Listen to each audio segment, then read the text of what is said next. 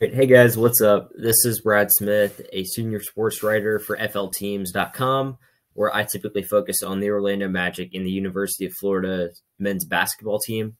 And today I would like to talk to you guys about how Mo Bamba's 2021 to 2022 breakout season puts the Orlando Magic in a peculiar contract situation in this upcoming free agency now, with this being said, I would like to give you some backstory on what I mean by his breakout season, because over the course of Bamba's first three years with the Magic, Bamba was certainly looking like a bust. And this was unfortunate because in the 2018 draft, when he was taken sixth overall, there were plenty of great players that were taken soon after him by other teams, such as Mikal Bridges to Phoenix at number 10, Shai Gilgeous-Alexander to the Oklahoma City Thunder at number 11, and Miles Bridges to the Charlotte Hornets at number 12, just to name a few. And when you compare the box score and the stats for all four of those players, it is pretty clear that Mo Bamba was a reach with the sixth pick, as he averaged just 6.5 points per game, 5.2 rebounds per game, and 1.3 blocks per game while shooting 47.1% from the field and 32.2% from three point range in those first three seasons. Now, with this being said, every rookie has four years with their incumbent team before they get to enter restricted free agency.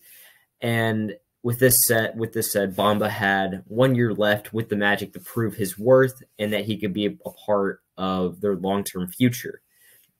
This being said, he did exactly that this past season, as he averaged 10.6 points per game 8.1 rebounds per game, and 1.7 blocks per game while shooting 48% from the field and 38% from downtown, which were all career highs.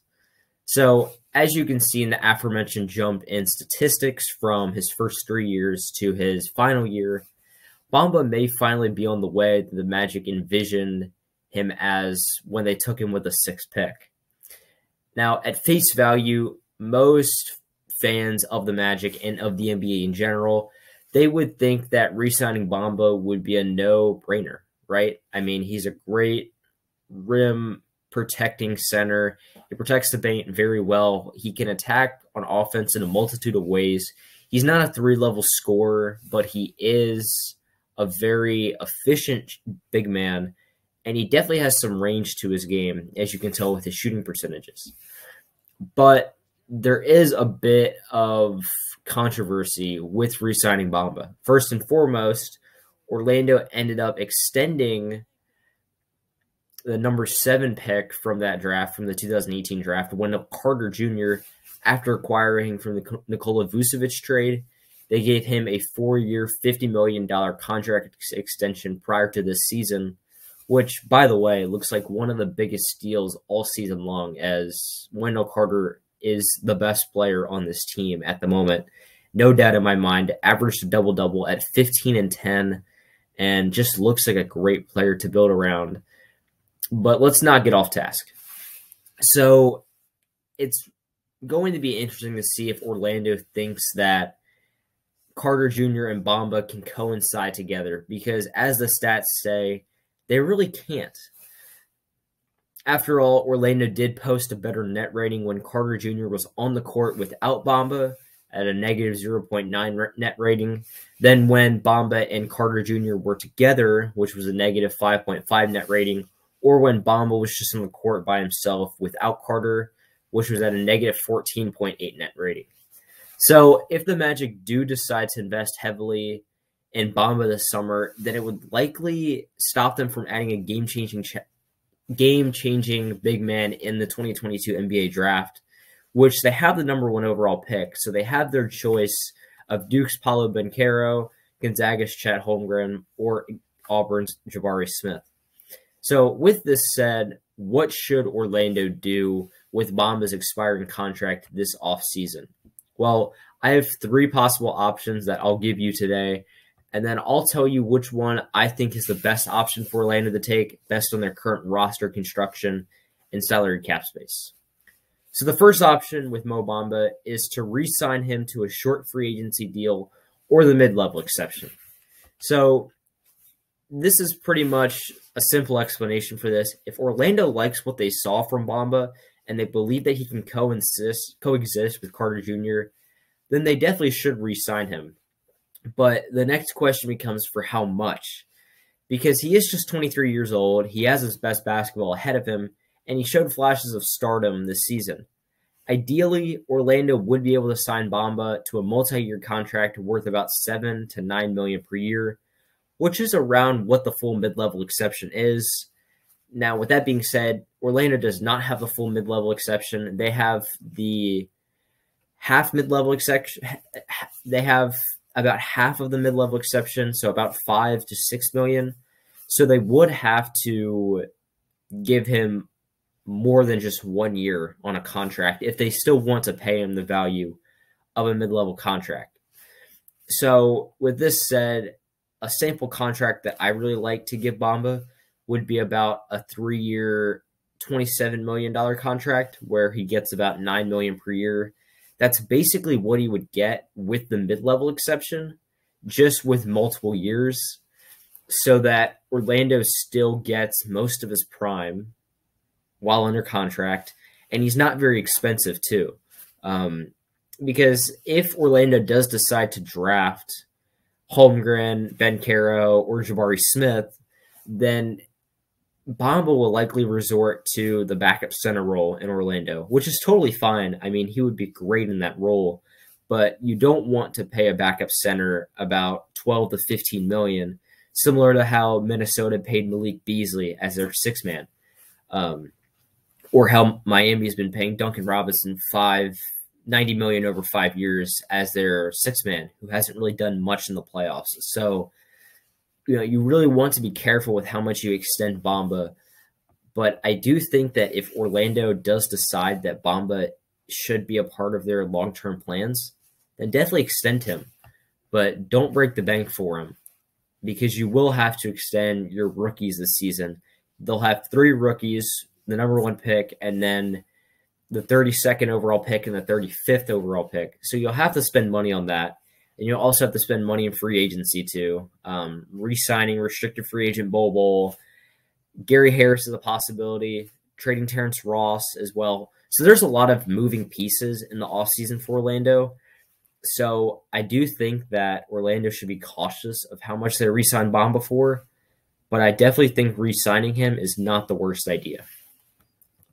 The second option, though, if Orlando does not want to re-sign Bamba, is they can sign Bamba and then trade him to a team for future assets, also known as a sign and trade. So, if Orlando does opt to go this route, there will be many other teams interested in Bamba's services. As an NBA team, you can never go wrong with rostering a seven foot, 231 pound center who can impact the game on both ends of the floor. With this said, some teams interested in Bamba won't be able to absorb his new contract, even if it is around the value of a mid level exception, because there are just so many teams with negative cap space due to cap holds or dead cap or just any other salary cap issues. There are just very few teams that could take on Bamba's contract these teams, such as the Golden State Warriors at negative 83.5 million in salary cap, and the Atlanta Hawks, who have negative 80.2 million. You know, it's going to be really hard for those teams to finagle their way to acquire Bamba.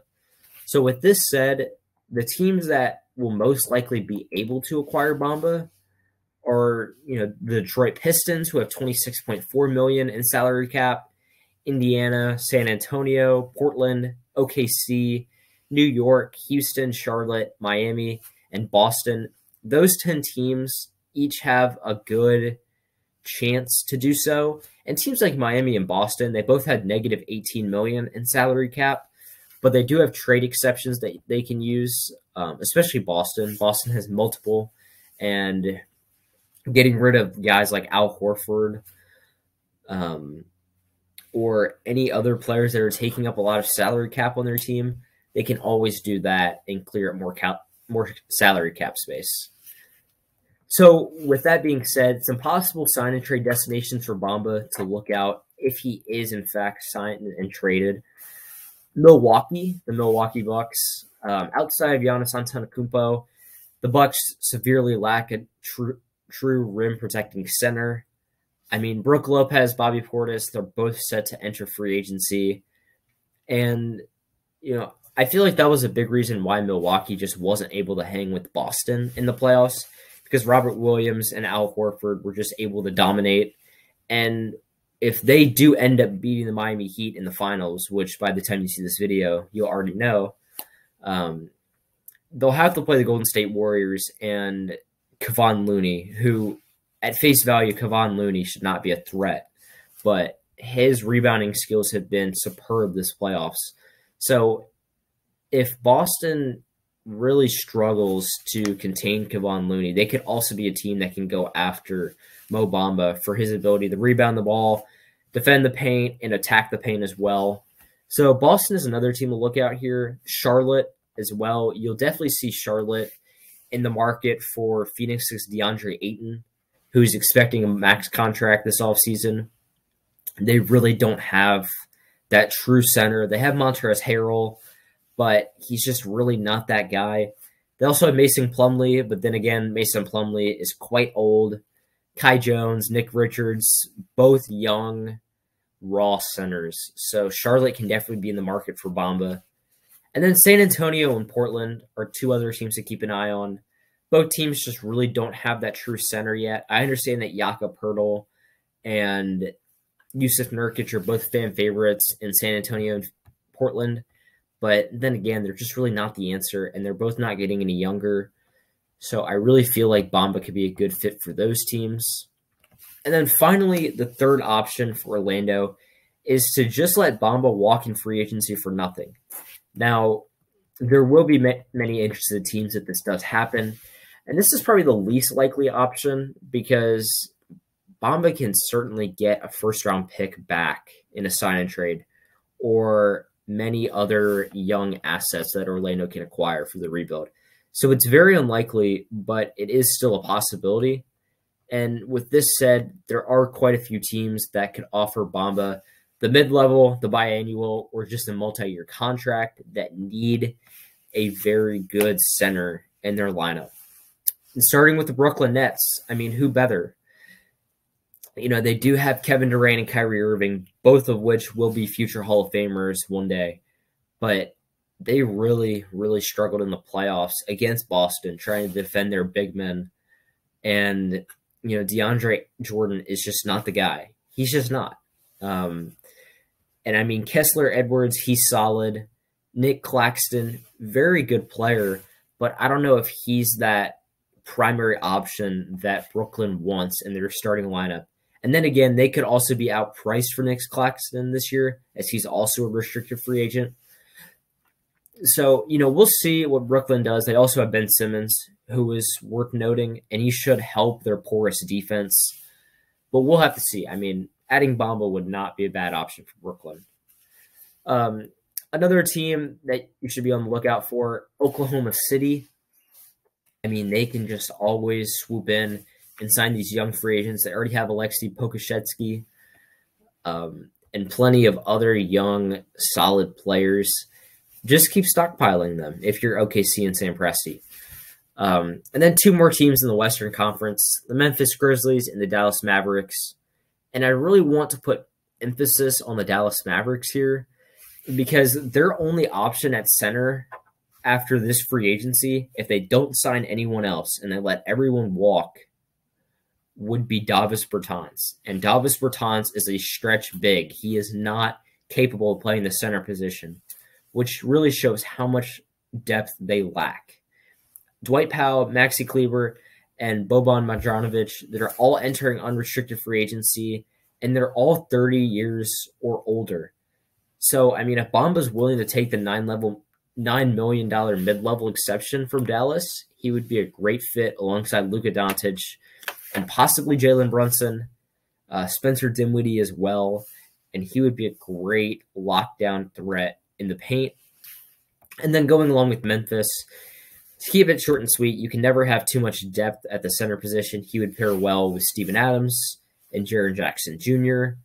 and would be a great fit in the pick and roll alongside Ja Morant.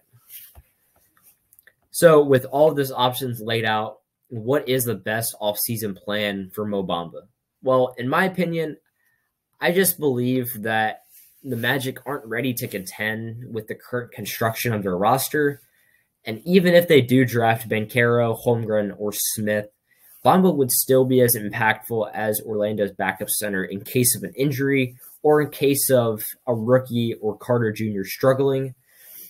He shouldn't be too expensive either, as he'd likely take that mid level exception or a multi year contract that earns about the same as that mid level would in one year. So I would advise the Orlando Magic to re sign Mo Bamba to a two to three year deal that gives about seven to nine million to Bamba on a per year basis. So like a two year, $18 million deal, three year, $27 million deal, three year, $30 million deal, even. I just don't think letting Bamba walk in free agency for nothing. I just don't think that's really smart for Orlando to do. Um, I mean, if they had many options at the center position, then yes, I could see why they would do that. But right now, they just have Wendell Carter Jr. and Robin Lopez right now at the five. And Carter Jr. is better as that four at the power forward spot. So, I mean, I think keeping Bamba, even if you draft Holmgren or Jabari Smith or Paolo Banchero, I feel like keeping Bamba on a team friendly contract is the best option to do so. So, with that being said, that is my response to what Orlando should do based on Mo Bamba's 2021 to 2022 breakout season. If you do want more in depth analysis on this topic, then you can always visit FL Team's website at flteams.com and then go over to the team Select Magic and go ahead and read any of the articles written on the Magic. You'll also find this article up on the website. And with that being said, take care, God bless, and I'll see you guys next time.